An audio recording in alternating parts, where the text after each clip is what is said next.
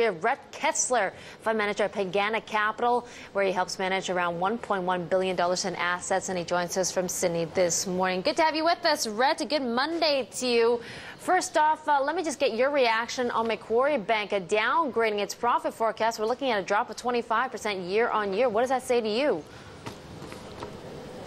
Well, that came out this morning. I haven't had a chance to look at the analysis, but it does seem that there's um, the lack of market activity and lack of volumes, um, decreasing risks uh, within the market volatility is probably affecting that. I must be honest, I haven't had a chance to look at the detail of that, uh-huh. and we'll be looking at it when I get back to the office. But certainly okay. that, that will hurt the. No um, yeah, but what about the financials uh, as a whole, the sector itself, if we can't talk about Macquarie specifically? Well, I think the four big banks are, have been very, very resilient through this period. The competition has been effectively um, taken out of the market through the financial crisis. These banks are in a very strong position um, because of the problems globally and uh, fears about their cost of funding. They've been marked down in terms of their ratings. We think it's um, exceptional value. They're paying fully franked dividend yields of 8 or 9% to investors. Um, cash returns, after tax cash returns of 10%. Um, and I think the stabilisation potentially in the US is very, very possible, uh, positive for our banking sector. Macquarie mm -hmm, Bank mm-hmm. aside, now, which is a totally different business. okay, well, Rhett, let me just talk to you about the uh, Reserve Bank of Australia as well. Speaking of banking, um, you know, we're expecting an interest rate decision later on today, but uh, it seems like the RBA and Glenn Stevens is getting a little gun shy here, holding off rates possibly again for a fourth straight month. How are you reading things right now, Rhett? Well, I think the Reserve Bank's played it exceptionally well. They cut very sharply last year through the financial crisis, which gave them a lot of ammunition from a high base. Um, they cut very sharply down to a low base, then saw that Australia had weathered it remarkably well.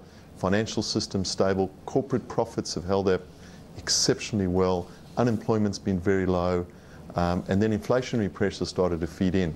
So he ratcheted up interest rates quite quickly. Now I think he's got some breathing space due to the uncertainties globally. Um, Christmas is coming up, which is a very big period for the retailers. I think he's being prudent in holding off. Um, it's a difficult game though because inflationary pressures are building and I expect if he doesn't mm. lift them this side of Christmas, it'll certainly be in the early part of next year. Okay, so you mentioned retailers there. What are the best buys right now in the Australian market? Well, we've, we've, looking, we've looked at some retailers, but certainly the best buys for us are things like the big four banks, as I mentioned, um, in particular News Corp, a US-based company with global media interests. We think it's a fantastic group of franchises that's, that's priced on a very low multiple and investors are getting the upside of any turnaround in the US economy for free. Um, and some of the bigger retailers are possibly looking like good value. Um, Wesfarmers and Woolworths have both been a haven for investors in these uncertain times, so we steer away from those.